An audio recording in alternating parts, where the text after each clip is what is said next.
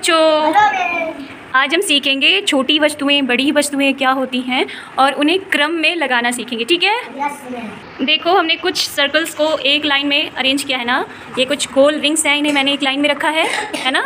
तो आप मुझे देख के बताओ कि इसमें से सबसे बड़ी रिंग कौन सी है? हाँ रख के बताओ, कौन सी सबसे बड़ी है? और सबसे छोटी रिंग कौन सी है? हाँ छोटी रिंग उठाओ।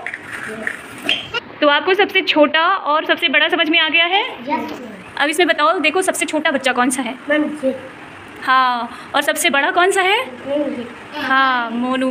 मैंने सारे रिंग्स को इधर उधर कर दिया है। अब आप इसे छोटे से बड़े में अरेंज करेंगे। सबसे पहले सबसे छोटा उठा के रखो अतुल। अतुल सबसे छोटा उठा के रखो।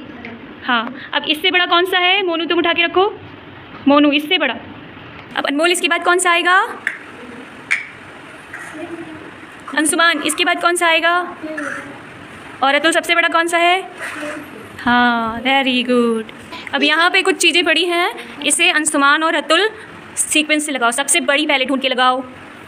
अब इससे छोटी ढूंढ के लगाओ। इसके बाद कौन सी आएगी?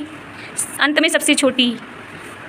वेरी गुड क्लैपिंग अब अतुल इसे अरेंज करेंगे सबसे पहले। सबसे बड़ा कौन सा है? इसके बाद फिर? पीछे शाबाश बिल्कुल सही किया।